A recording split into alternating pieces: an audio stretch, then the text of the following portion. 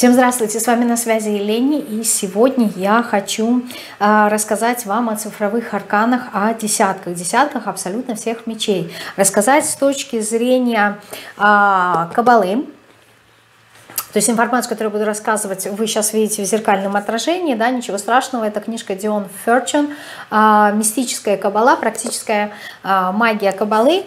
Э, здесь, кроме того, что Дион объясняет простым языком, по сравнению с другими. Это не то, что вы прочтете, это будет действительно доступно и понятно. По сравнению с другими а, достаточно просто о древосферот. Вот, а поскольку а, древосферот, оно напрямую имеет соответствие с Таро, это разные системы, но они связаны между собой, то идет и как раз пояснение арканов.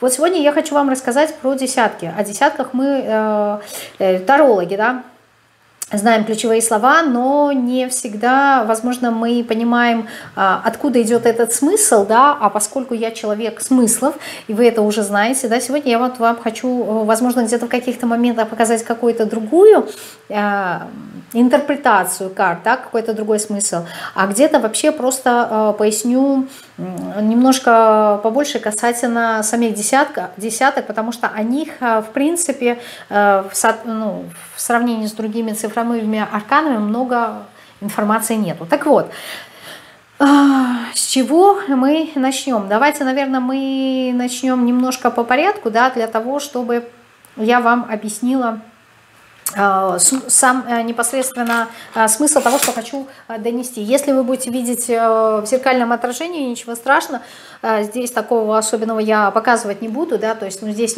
надписи нет, поэтому, чтобы что-то понять, прочитать ничего не нужно, да, но в любом случае интернет вам в помощь, да, известное древо сферот, вы можете найти картинки и э, в интернете, чтобы понять. Значит, что мы видим на... Сейчас, что я вам сейчас покажу, то, что я хочу. Значит, смотрите, у нас здесь древо сферот нарисовано, да, это сфера кетер, а цифра 1. Почему? Потому что здесь у нас относятся все тузы непосредственно, да, это источник, то есть кетер у нас говорит источник всего, да, э, то есть это непосредственно свет без цвета, и это корень э, всех корней. То есть иногда вы можете видеть э, древо сферот нарисованное корнями вверх, а ветвями вниз. Да? Почему? То есть здесь идет э, аллегория как понимание, что корень всего, причина всех причин, она находится вот здесь. Да? Поэтому корнями сюда уходит, а ветвями вниз. А десятки у нас находятся здесь. То есть если эта сфера называется корень, корневая, да, причина, источник, то э, десятая э, сфера у нас называется мальхут, и э, она называется еще землей. Вот. Здесь у нас свет, условно говоря, здесь у нас божественное, а здесь у нас наша земля, здесь материальная. А в соответствии с э, информацией да, каббалистической по древу сферот, здесь у нас а, эта сфера, она у нас все время заряжена в плюс, а, ее противоположность Мальхут, вот здесь земля, она заряжена а, в минус. Для чего я это говорю, сейчас я вам поясню почему. Потому что нас а, все десятки, они находятся вот здесь. Мальхут еще изображается как кругляшок, и в нем а, так разделены на четыре сектора этот кругляшок, и они разноцветные. То есть в этой а, сфере, то есть на Земле, у нас есть э, четыре стихии, четыре элемента. Это огонь, вода, воздух и непосредственно а, сама Земля. Вот, и э, второго у нас также есть четыре масти, да, огонь это у нас жезлы, э, далее у нас идут э, мечи, это воздух, далее у нас идут кубки, это вода, и последнее это пендакли, это английская школа, мне очень важно это уточнить, почему, потому что во французской школе э, расположение оно иное, то есть э, мечи и и огонь, э, жезлы, да, они меняются местами. То есть первично идет э, воздух, а потом идет э, огонь. Вот. В той школе, в которой я обучаюсь, ту, которую я изучаю, это английская школа, и направление имеет непосредственно на вот такую схему. В алхимии мы изображаем жезлы, как стихия огня треугольником вверх, и он, он заряжен позитивно, Почему эти заряды, я потом вам объясню, вы поймете. А далее у нас идет э, непосредственно мечи. Это воздух, да? воздух это треугольник вот так и минус, то есть он заряжен в минусе, то есть черточка такая. Дальше у нас идет кубки, это вода, и у него заряд плюс. И э, дальше э, идет земля, это треугольником вниз, перечеркнуто, и у нее заряд минус. И у нас получается плюс-минус, плюс-минус, да, полярность, о которой нам, в принципе, известна. А поскольку э, кетер идет противоположно Земле, либо Земля противоположна кетеру, это не имеет никакого э, значения, да, в какой последовательности. То есть все зависит от какого потока. Если у нас поток нисходящий, то идет вот так, а если восходящий, то наверх например, то у нас напрямую видно, что плюс это вот кетер, а минус это у нас а, мальхут получается, то есть имеет в виду противоположность. Теперь смотрите, что я хочу вам а, сказать, не пойдем непосредственно к самим десяткам. Значит, вот в этой замечательной книжке а, есть такое, а, такая отсылка, сейчас, а, к эзотерическому закону э, переменной полярности. А, не слышали, впервые слышите, объясняю, что значит переменная полярность. Это то, что является а, негативным на внешнем плане, позитивно на внутреннем. И наоборот – то есть, э, когда заряд, допустим, внутри он э, плюсовой, то вовнутрь, э, внешне он идет как минусовой. А если это во внешне он будет плюсовой, то внутрь он у нас будет минусовой. Вот этот вот закон полярности, надо будет его мне потом как-то отметить для себя, а, мы сегодня с вами как раз-таки и посмотрим. Так, значит, вот в этом в этих десятках. Теперь смотрите, этот а, закон полярности. А, что еще хочу вот здесь сказать. Вот эти две стихии, огонь и воздух, они а, родственные между собой. Да? А, почему они родственные? Потому что, опять-таки, если мы смотрим э, противоположность, если мы смотрим с точки зрения огня, то есть мы вот здесь находимся и смотрим на воздух, то воздух для нас вот отсюда, если мы смотрим, да, мы здесь находимся и смотрим сюда, у нас будет минусовым огнем. Надеюсь, то, что я сейчас говорю, я вас не запутала. Еще раз буду говорить медленно, чтобы вы поняли. То есть огонь – это плюс. Но э, как у всего, да, допустим, чтобы для понимания, у нас есть две стороны медали. И у огня тоже есть свой минус. Так вот, минус у огня – это воздух. Если мы будем рассматривать со с точки зрения воздуха, то огонь для нас это положительный воздух, то есть у воздуха положительная сторона. И у нас получается огонь и воздух, они родственные стихии. Да, то есть они просто отображают либо плюс, либо минус. И вот это вот у нас соответственно за духовный мир, духовное развитие. То есть жезлы и мечи, они всегда братственные, стихии, и они говорят о духовности. Дальше, если мы, и у них, значит, природа, да, у них природа духовная, чтобы вы понимали. Дальше у нас идет вода и земля. Если мы смотрим с точки зрения воды на землю, то земля для воды, она минусовая, это ее минусовое проявление. А если мы смотрим с точки зрения земли на воду, то она плюсовая. То есть вода является матерью для нашей Земли, другими словами говорю, а огонь является отцом для воздуха. Если это духовный мир, то вот это, это материальный мир. Здесь просто не поместилось, это материальный мир. Дальше. Если мы знаем, что это духовный мир, значит у этих двух стихий, у них природа огненная, а это материальный мир – и у этих двух стихий природа материальная. Это будет очень важно в том, что я сейчас вам буду говорить. Если не запомните, отмотайте потом назад, да, и переслушайте, ну, то есть, когда все прослушаете несколько раз, а, будет понятно, потому что если ну, не знакомы с этими понятиями, а, кажется, что их очень много, и они непонятны. Но я стараюсь доносить самым простым, понятным языком. Итак, что пишет у нас а, Дион? Значит, а, Касательно непосредственно колоды Таро.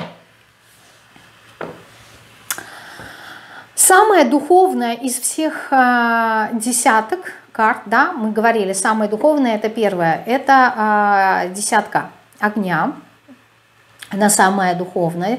Э, десятка той масти, чей туз называется корнем сил огня, то есть э, туз жезлов. И он называется господином угнетения. То есть десятка жезлов, она называется господином угнетения. А мы еще говорим как трудности, да, э, какие-то вот проблемы. И нам нужно понять, ну окей, название-то у нее есть, а смысл-то какой?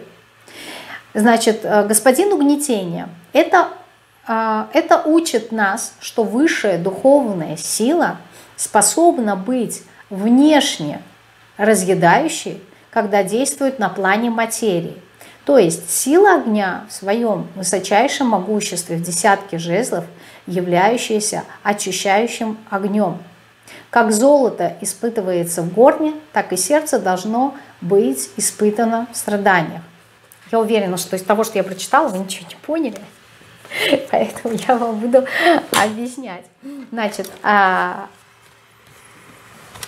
вспоминаем закон полярности. Вот этот вот аркан, да, вы его видите, десятка жезлов, да, знаете, мужчина несет 10 жезлов. Господин угнетения. Это самая духовная карта, да, я имею в виду как масть, э, жезлы из всех остальных. Теперь что говорит эта карта? Да, это идет угнетение, но мы задаемся вопросом, почему? Почему здесь человек угнетен? То есть в чем была его причина, либо для чего у него идет вот это вот э, трудности, сложности, проблемы угнетения? Если на внешнем, закон полярности вспоминаем, на внешнем плане это трудности, то внутри этого человека, да, то есть внешне он заряжен в минусе, ну то есть гнет много а, жезлов, то внутри него должно быть позитив. А как может быть в десятке жезлов позитив? То есть о чем здесь речь идет? А вот здесь речь как раз-таки и говорится о том, что если вы встали на путь духовного развития, а у нас это жезлы, а мы встали на путь духовного развития, то у нас идут проверки, у нас идет закаление нашим, а, нашего сердца непосредственно а, закаление нашей духовности, да, вот э, того, во что мы верим, э, через сложности. То есть нам нужно преодолеть внешне вот эти сложности, да, и только так мы сможем внутри обрести вот это золото. Только таким образом мы внутри сможем э, почувствовать. То есть нам для духовного роста, да, скажу иначе, проще, нам нужны внешние трудности. Только через, преодоление каких-то трудностей и сложностей, да, мы понимаем, на что мы способны, и мы растем духовно. То есть без внешнего минуса, без внешних трудностей, сложностей, мы внутри не сможем э, вырасти. Для чего нам этот рост? Потому что это духовная карта, да, это духовная масть, скорее всего, да, вот мы говорили, это духовная масть. То есть здесь очень важно, э, десятки, понимать, что для чего нам эти сложности даны, вот этот гнет, который мы несем, нафига нам нужно, почему мы все равно не бросаем вот эти 10 жезлов, а тащим. То есть здесь глубокий смысл заключается в том, что вот эти трудности, они нам нужны для того, чтобы мы выросли, для того, чтобы мы нашли решение, для того, чтобы мы преодолели себя, для того, чтобы мы закалили закалялись, да, э, закалили свое сердце, проще говоря, и э, смогли вырасти. Да. Десятка – это 10 и 0. Десятка равно 1 плюс 0 равно единице. Вы в зеркальном отражении это видите, но смысл вам понятен. То есть десятки у нас находятся здесь, но 1 плюс 0 по цифре равно единице, и это должно нас выбросить сюда. То есть если мы хотим попасть вот сюда, вот в кетер, да, если мы хотим найти, э, понять причину всех причин и начать свой путь расти, да, если мы хотим прийти к духовности, мы должны сначала пройти вот эти вот сложности, трудности, причем на внешнем плане, внутри этого нет. То есть внутри мы как результат получаем позитив. То есть внутри мы получаем этот духовный рост, внутри мы понимаем, для чего мы страдаем, да, а, как мы, э, чем мы жертвуем в данном случае, да, чтобы э, прийти к чему-то большему. И это духовный рост. И как раз-таки вот здесь вот то, что я вам зачитала, снова повторюсь, и прочитаю, что Как золото испытывается в горне, так и сердце должно быть испытано в страданиях. То есть чем больше страданий у человека, пояснение да, здесь идет, причем страдания внешние, через трудности, сложности, внутри у нас как раз-таки идет вот эта вот закалка. Да? То есть э, сила огня в своем, в своем выше, высочайшем могуществе у нас показывается в десятке э, жезлов. С этим понятно. Следующая масть у нас а, кубковая э, идет. И сейчас я, сейчас я найду, как ее называют. Так, а, масть, и, и я вам ее поясню, а, почему она, в принципе, считается позитивной, но по факту она негативная. Значит, символика масти чаш – очень а, ясно показывает влияние Венеры. Именно в этой масти мы находим господина радости. Господин радости называется карта материального счастья и изобилия. Но также и господина призрачного счастья, утраченный успех и потерю в удовольствии, который явно показывает, что эта масть, хоть и солнечная внешне, внутренне является разъедающей. Поясняю, смысл здесь в чем? Вот у нас, значит, десятка кубков, да? А, Опять-таки, внешне, да, это то, что проявлено, это успех, это а, радость, это вся прелесть, здесь у нас а, пара нарисована, да, семья, но это внешний блеск. А внутри она минусовая, эта карта, то есть для нас это минус, то есть то, что хорошо внешне, люди видят, что мы, а, у нас полные чаши, мы радуемся, а внутри-то у нас пустота, нас раз, а, разъедает. Почему нас разъедает? Потому что во-первых, природа у этой карты, и у этой мы будем смотреть, вот здесь, она материальная, да, и здесь показатель того, что э, внешне это может быть все хорошо, а на материальном плане у нас это минус. Ну, то есть у нас здесь э, может и не быть денег, с одной стороны, а с другой стороны мы присытились, нам больше нечем наполнить, да, кубков, нам больше не к чему стремиться. И это вызывает у нас э, какое-то вот разочарование, да, это как здесь назвала Дион – Призрачное счастье, утраченный успех и потеря удовольствия. Почему потеря удовольствия? Потому что а, стремиться больше не к чему. Да? То, что я хотела, я уже все получила, и меня, а, мне от этого грустно, мне от этого скучно. То есть внешним люди, когда к нам приходят, говорят, ой, да тебе надо радоваться и ценить то, что ты имеешь, ты получил все, а нам-то на душе это хреново. Нам от этого не очень-то хорошо. Почему? Потому что это уже завершенный процесс, да? мы это уже получили. А дальше что? А дальше мы снова должны вернуться к началу, да, к э, тузу кубков, для того, чтобы э, заново понять. Причем э, минус туза кубков у нас говорит как раз-таки об одиночестве, а говорит о страхе непонимания, о страхе непринятия. То есть вот эти вот качества, да, мы как раз-таки чувствуем. То есть внешне мы достигли, получили все, что хотели, а внутри нас это разъедает. Вот это вот минус как раз-таки, да. И получается, как в этих, да, не везет мне картах, да, повезет э, в любви. А здесь наоборот, да, кубки, да, то есть повезло в любви, в принципе, а в картах не везет. То есть на материальном плане э, нету счастья, да, внутри, то есть то, как я живу, да, все вроде бы есть, но меня это не радует. Хорошо, идем дальше. Э, следующее, значит, у нас десятка, что здесь пишет, это мечи. А почему в таком порядке? Ну, я не буду вам объяснять, то есть почему именно а, огонь, вода, воздух и, и земля, Хотя я говорила немножко э, в ином формате, здесь просто проявление в разных мирах э, божественного, поэтому именно вот так вот стихи э, расписаны. Значит, следующая масть у нас а, мечи находится под влиянием Марса, чем объясняется еще одно соответствие господин гибели, то есть десятка мечей называется десятка господином гибели, принесение в жертву всего материального – Вот, десятка мечей. И у нас здесь, смотрите, что получается. Мечи внешне это минус, а внутри, так же как и у жезлов, да, должно быть в плюсе.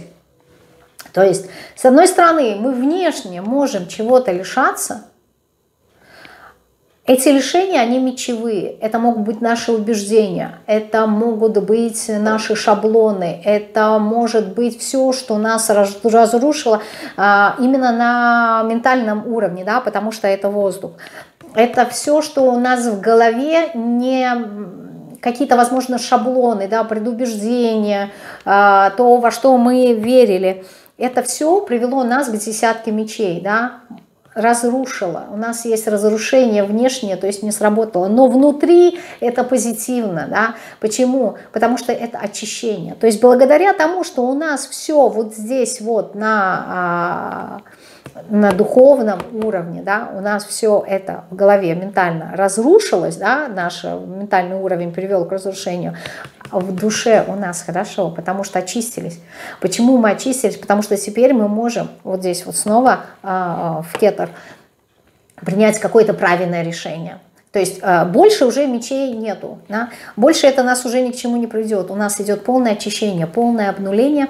У нас э, на душе хорошо. Да, внешне мы э, много чего утратили. Внешне мы можем сокрушаться, да, чувствовать себя прям в самой нижней точке но э, там, где конец, всегда есть начало. И здесь начало у нас именно духовное, да, так же, как и в жезлах. Вот здесь в мечах у нас это, это тоже один из э, духовных уроков, но он более, э, так скажем, низком уровне, нежели э, жезлы. И последнее, ну то есть это хорошо, то есть вот это хорошо и вот это, да, и казалось бы, блин, здесь гнет, да, здесь э, трудности, сложности, что хорошего, да, здесь обязательства, обязанности, а здесь наоборот, здесь меня словесно, возможно, убили, здесь э, я на самом дне, что в этом может быть хорошего. Вот закон полярности, он как раз-таки и а, объясняет, что это хорошо. Для, для вашей души это хорошо, для душевного развития.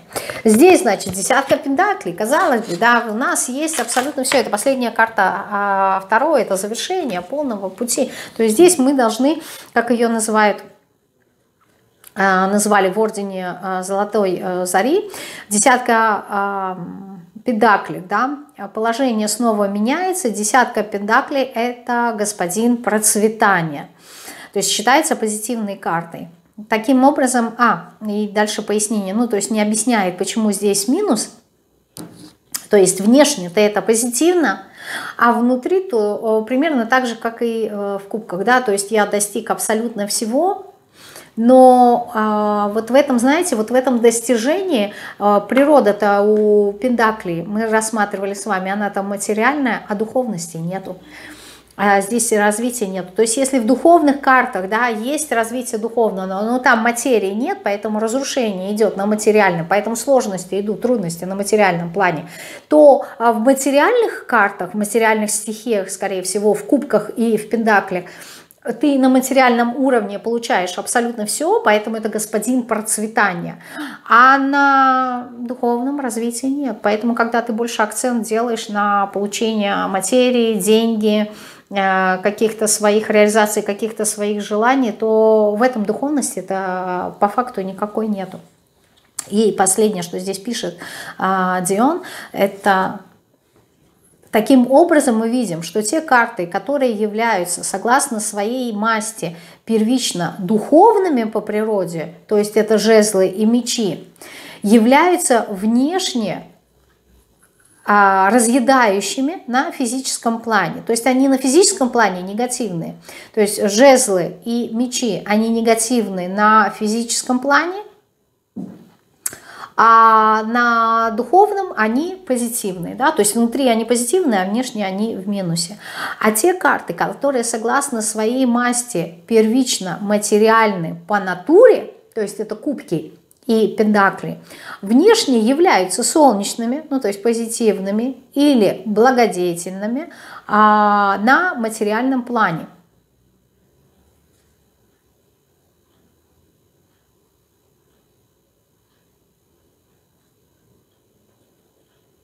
Да, или благодетельно на материальном плане. Да, правильно прочитала, думаю, может, я что-то неправильно поняла. Это дает очень полезный урок и очень важный ключ, а, применимый в тех системах гадания, которые предназначены для развлечения действующих в данном случае духовных влияний. Ну, то есть это для когда мы хотим познать себя, да, вот свой, э, свои духовные уроки.